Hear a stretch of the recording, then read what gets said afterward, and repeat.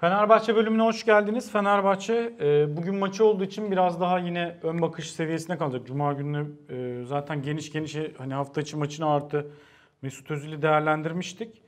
E, Erzurumspor Mesut Hoca'nın gelişiyle birlikte, Mesut Bakkal'ın gelişiyle birlikte biraz daha enerjisi yükseldi. Zaten hani Hüseyin Çimşir dönemine göre de hani herhangi bir insanla yükseltim çok o kadar daha kötüsü yok yani. 4 maç gol atamayan bir takım yapısı vardı.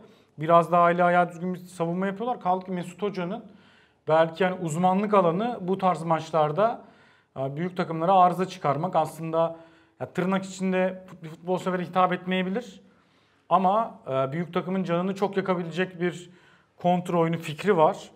E, sen nasıl bakıyorsun Erzurumspor can yakabilir mi Fenerbahçe'ye karşı? Yani e, Erzurum'un özellikle yerli oyuncu kapasitesi biraz düşük e, seviyede kalmış gibi gözüküyor. Ama fena yabancı oyuncuları yok. Obertan'ı çok beğeniyorum. Noikovas. Zaten hücum üçlüsü gayet iyi. E, Ricardo Gomez de etkili bir santrafor. Ben aynen. Direkt hücumlarda etkili olacak oyuncular var. E, ama Fenerbahçe'nin de artık bir oyunu var. İlginç bir devşirmesi de var bu arada. Kimi diyorsun? Obertan. Evet. O, Çok enteresan ya. Adam Fransa'nın e, bildiğim bıçkın açık oyuncusu burada. Adam evet. O aslında bir önceki, akil 8 numara oldu burada. iki önceki dönemde e, devşirilmişti az. Uzun zamandır öyle oynuyor ve şey bayağı fark yaratıyor. Yani top taşıyıcı rolünü orada da sergileyebilince FM kariyeri gibi böyle hani böyle oynarsın bir 10 sene sana şey olur mesela atıyorum. Obertan Erzurum'da orta saha oldu. Dersen mesela lan oyunda sapıtıyor Geçen- dersin o oluyor gerçekte de oluyor Geçen yani. maçlardan birinde çok iyiydi. Gol de atmıştı. Ee, şu anda çok güzel bir şut attı. Evet, evet çok iyi gol atmıştı. Ee, dediğin gibi biraz toparlandı Erzurum. Ee, oradaki iklimde düşününce çok kolay maç olmayacak Fenerbahçe açısından ama Sen bu e, yani genel manada biraz daha işin toparlandığını düşünüyorsun. tabii ben yani Fenerbahçe'nin artık bir oyununun olduğunu düşünüyorum. Yani beğenirsiniz beğenmezsiniz. Ee, ben beğeniyorum bu arada.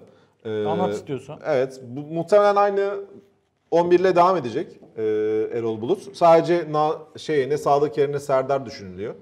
E, onun daha dışında onun dışında aynı. E, işte Peki bir şey Nazım diyeceğim. Serdar Tistan Caner. Sadık sol stoper oynamıştı son maçta.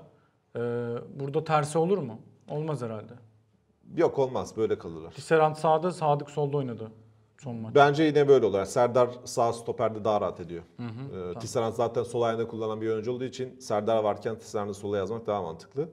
Ee, aslında Fenerbahçe Kasımpaşa maçından beri bu oyunu oynuyor ama arada buna benzer birçok maç çıkartmıştı. Ki Gençler Birliği'ne karşı da da, topla daha yetenekli oyuncuları olmasına rağmen oyun formatı olarak benzer bir oyun oynamıştı. Yani daha çok karşılamaya yönelik. Rakibi önde karşılamaya yönelik. Ee, yani o zaman da hatırlarsın Lemos vardı sağ bekte Gençler Birliği'ne karşı. O maçta da tıpkı son 2-3 maçları gördüğümüz gibi arka dörtlü oyuna çok fazla katılmıyor. Önlerde bir tane, önünde bir tane Gustavo şey, sigortası var. Geriye kalan beşliyle bir şekilde rakibi açmayı başarıyordu Fenerbahçe ve önde karşılayarak bunu başarıyordu. Bunu aslında zenginleştirdi son dönemde. Ee, sonuç almaya başladı artık. Daha da önemlisi Fenerbahçe bu oyunuyla. Alanya Spor'a karşı kazanmak çok net bir sonuç.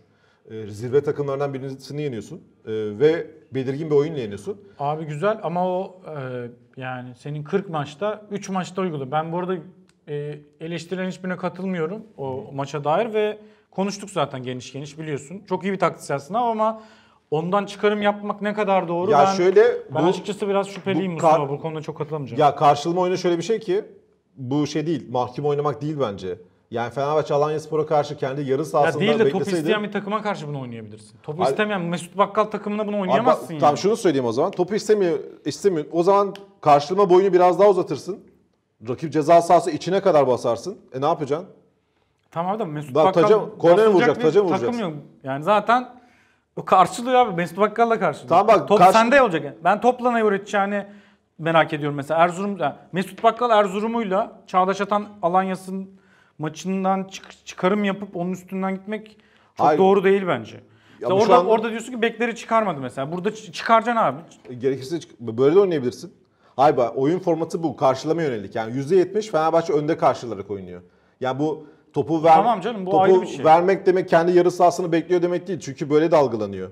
Yani bu Alanya Spor sana karşı geliyor. Sen orada beklersin çıkarsın. Fenerbahçe bekleyip çıkmadı. Önde karşıladı. Önde karşıladığı için pozisyonlar buldu. Ben diyorum ki rakip Ya doğru rakip ama topla oynamasın. Bu sefer takım boyunu uzatırsın.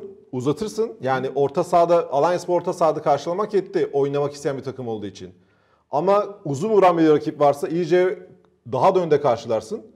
Uzun vurdukça sen alırsın stoperden kafayı devam edersin dengesiz. yok ben bu olmaz demiyorum. Ama bu teorik bir şey. Ben bunu görmedim. Abi ben olur olmaz diyor mu? Beğenirsin beğenmezsin ama sonuçta Fenerbahçe'nin hep sezon başından beri eleştirdiğimiz noktada bir oyunu yok. Ne oynadığını bilmiyoruz. Sistemi ne? Ama şu an var.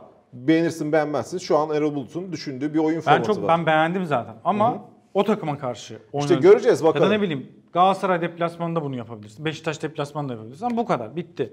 Dördüncü maç yok. Trabzon maçı belki. Ben takım diyorum ya. Trabzon'a top almadığı için baskı boyunu uzatarak Trabzon maçı da değil. baskı boyunu uzatarak farklı takımlara karşı da yapabilirsin diyorum bunu. Oyuncu seçiminde Bakalım. değiş oyuncu seçiminde değişiklik yapabilirsin.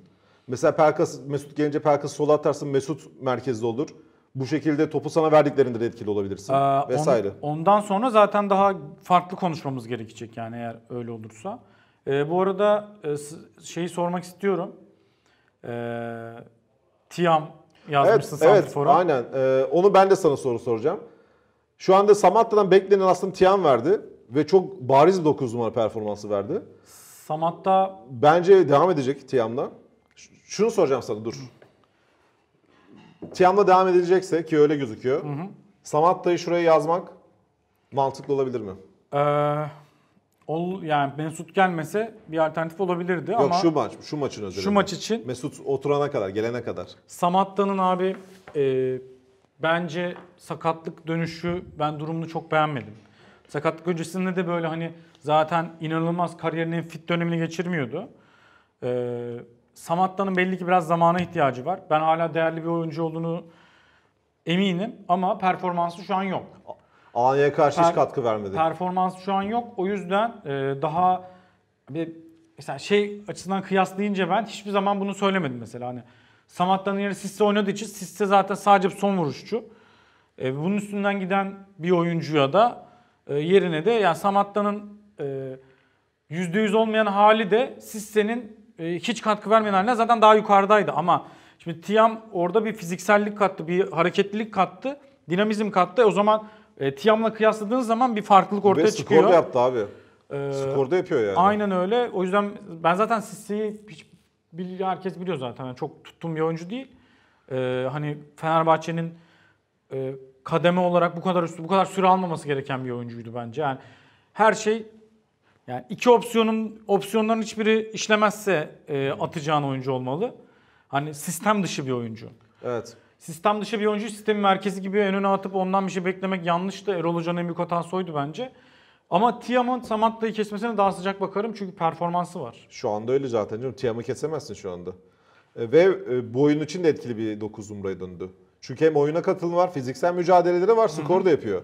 Yani normalde bu tip oyuncuları skor yapmaz yani böyle diğerlerine Samatta'ya göre kalitesi daha düşük bir 9 numaradır. Ama dersin ki ya ama çok fazla savunmaya zorluyor, oyuna katılım var, yani takımın enerjisini yükseltiyor vesaire ama adam skor gol de atıyor abi.